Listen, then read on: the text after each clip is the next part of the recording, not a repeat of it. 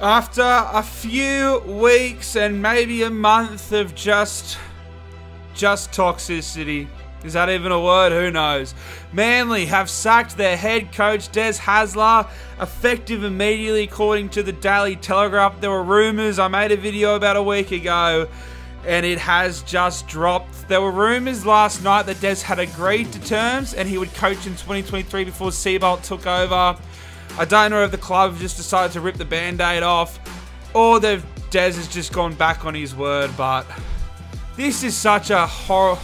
I don't want to say horrible decision because I'm going to back Seibold, and it's pretty much guaranteed. There was an interview with Scott Penn the other day, but it's guaranteed pretty much that Seibold's going to take over effective immediately. And when you compare their resumes, one's a club legend, one was at the club for a few years, one's a two time premiership winner, including winning the last two premierships at our club. The other had one good season with a very good roster at the Rabbitohs, and full credit to him. And then he took the Broncos from the top eight to a wooden spoon. When you compare them, there's just nothing. And the bad part is, is Des isn't even a bad coach, in my opinion. We're in the top four a year ago. He literally got the best out of the best season of all time from a player, Tommy Turbo, last year. Des obviously had something in that. We lost him early this year. Manly didn't have their best 1 to 17 once in 2022. And despite that, going into that Dragons game before Jake Croker went down with COVID. We were in the top eight. We had just smashed the Knights. They COVID stuff happened.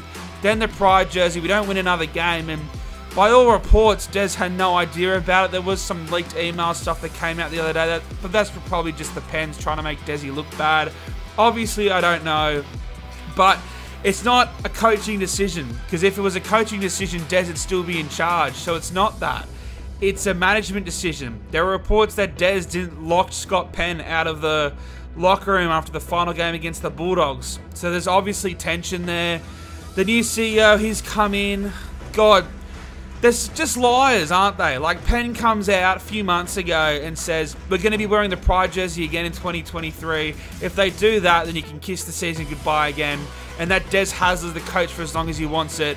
Not even a couple months later, Des is gone and we're hiring Anthony Seibold, who, like I said, when you start their coaching against each other, it's horrible. It's not a coaching decision. This is strictly a management decision because Des obviously wants too much power.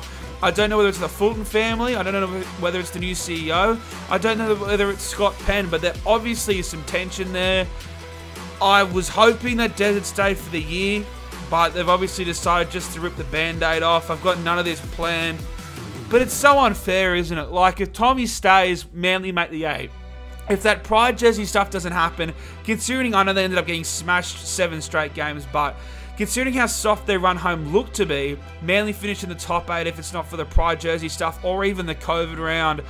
Just a horrible, horrible few months for the club.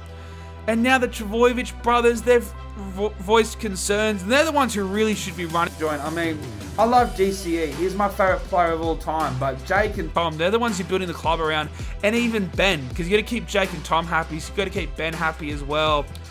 If we lose them, then you can book Manly in for bottom four for a while now, because like the roster's good. And I thought it was Desi's. They all seem to love Desi. It was not a player thing.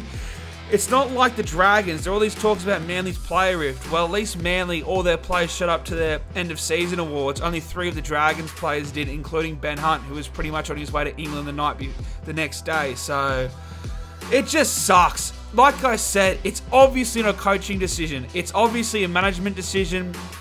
It's awful. It sucks. I'm concerned. I don't think there's going to be a place for Manly in the top eight because I think their roster is a bit worse. Now they don't even have Desi. You could tell they sacked his assistants. They don't want him there. They've forced him out. They've put tried to put the blame of the Pride jersey on him. It's really like I don't know what's going on.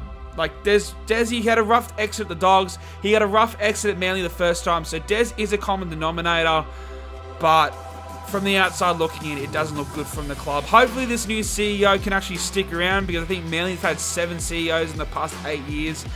So if he's a long-term director then I guess can't blame him too much for this decision. But if he's gone in six weeks, I'm going to go to Scott Penn's house and sit him down. We're going to have to have a convo because I need to know what is going on. Because, look, I got two Penrith Premier, two Penrith Premiership shirts. So, so I, should I go for them next year?